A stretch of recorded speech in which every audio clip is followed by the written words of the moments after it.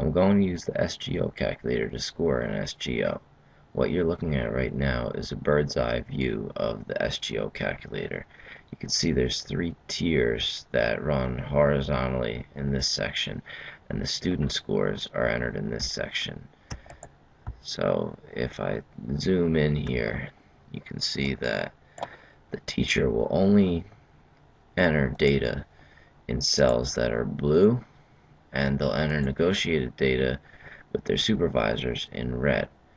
The negotiated data are the percentages of students that need to accomplish the growth objective in order to score at a given level one, two, three, or four on the on the SGO and the upper boundaries of those ranges will be specified in these three cells.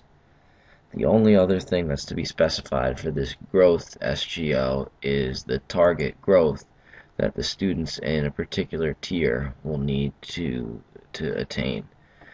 If a simple SGO is being used, only tier 1 will be used, but up to 3 tiers can be entered and the tiers are structured exactly the same. So a tiered SGO is basically three simple SGOs for a population of students that may be of varied ability levels where it wouldn't be a fair assessment to use a tier a simple approach for a group with high level students, medium level students, and low level students. So the only other place the teachers will enter data in the blue cell will be in the blue cells over here where they can enter their student names or code number if they're to hide the student names a pretest score for the pre-assessment, a tier number where the teacher will determine the tier, and a post-test score. Everything else is completely automated. So in this particular SGO, the first thing the teacher is going to specify are the, the negotiated uh, ranges. And for this one, the lower uh, boundary of the second uh, of the, scoring a 2, which is the upper boundary of a 1, is going to be 60%. So if below 60% of the students in this tier achieve the SGO, then the teacher gets a 1. And then the others are going to be 70% and 80%. Now these could have different class widths. They could be 60, 75, 85, could be 60, 70, uh, 85, they could be 55, 70, 85. It depends on what is agreed upon for the department based on the needs of the students. Now, the level is going to be the same for each of the tiers in this growth objective.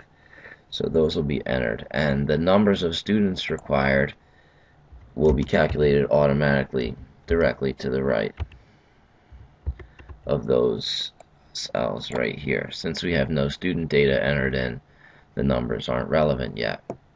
Now, for the data, that data is, is entered in over here. As a teacher scores their SGO, they would simply enter the, the pre and post test data. But as I have it right here, I just have it placed aside. So the teacher would score their pre-assessment, enter that in, uh, place their tier numbers, and then in May they would give their post test. As soon as they enter that in, the SGO would be scored for them, so they can they can uh, manually enter those in. In this case, I'm going to paste the values. They could also transfer values over from another form that they had the data entered in.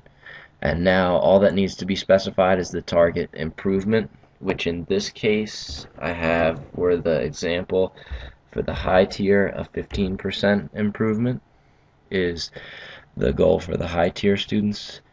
The middle tier students, their goal is a 20% improvement.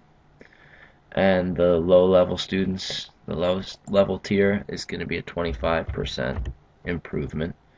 And with each of those levels of uh, improvement, you can see that the the high tier in this group, which consists of 10 students, needs 7 to achieve the SGO to accomplish that. In this case, 7 are actually achieving, so the teacher score is a 3. if the SGO was instead of 15%, it was to be only a 10% growth, that would be a less ambitious goal, which would be easier to accomplish. So the teacher would score a 4 because one extra student would have achieved uh, at only uh, at or above 10% growth, and that would have been enough to bump the teacher up to a 4 in this tier, which, as it is in this case, would make all the tiers be a 4. Now, if this uh, teacher had set 17% as the high tier growth level, then their high tier would score a 2 because of the, the small number of students in that tier. But having even scored a 1 with a 20% growth in the high tier, the teacher score is still a 3.2 because the most highly populated tier is tier 2, which has 23 students in it, which is scoring a 4. Now, if we were to alter the, the growth percentage there, then uh, the score would change as well.